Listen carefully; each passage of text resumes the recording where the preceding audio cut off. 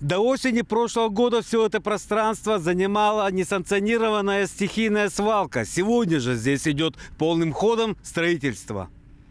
Реализация капитального строительства дома-интерната по линии федерального проекта «Старшее поколение» рассчитана на 2023-2025 годы. На месте пустыря будет возведено многоэтажное функциональное здание общей площадью 6800 квадратных метров. Первый этап у нас идет общестроительные работы. Это строительство основного здания, полностью возведение без внутренней отделки, без остекления окон. И подготовительные работы для работников, обустройства жилого помещения, то есть чтобы они жили, баня, строительство забора, ограждение строительного участка. Одновременно с ограждением подводится электричество, устанавливается освещение и монтируются видеокамеры. Подрядная организация, специализированный застройщик «Бастион», с которой заключен государственный контракт, приступила к разработке котлована для заливки фундамента. Работает 8 единиц техники. Котлован у нас возводится сначала до отметок, потом у нас идет уплотнение котлована в дальнейшем, чтобы у нас нигде ничего не проседало. Это получается для устойчивости здания. В первую очередь проектировщики, конечно же, учитывают сейсмоустойчивость. Согласно проекту, в центральной части комплекса расположится двухэтажное административное помещение. По бокам трехэтажные жилые корпуса на 180 койко-мест. Предусматривается 4 лифта, 2 в административном здании и по одному в жилых корпусах.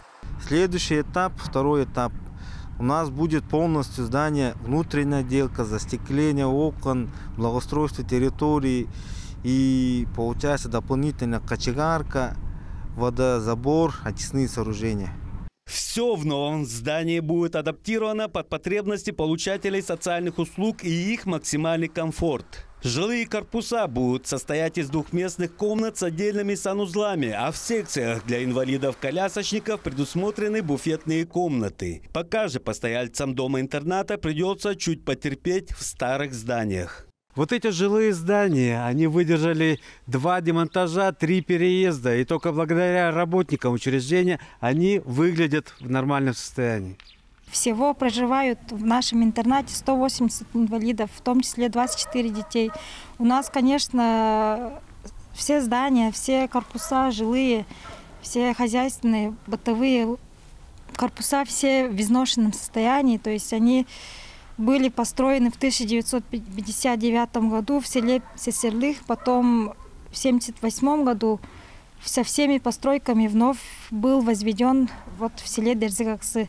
Добавим также, что были промежуточные времена, когда интернат дислоцировался и в местечке Тардан. Конечно же, перемещение построек и время не лучшим образом сказалось на зданиях и их санитарных условиях. Конечно, мы видели проект нового здания, и благодаря национальному проекту демографии у нас мы надеемся, что у нас будут уже Э, новые корпуса, новый корпус, соответствующий всем санитарным условиям и требованиям.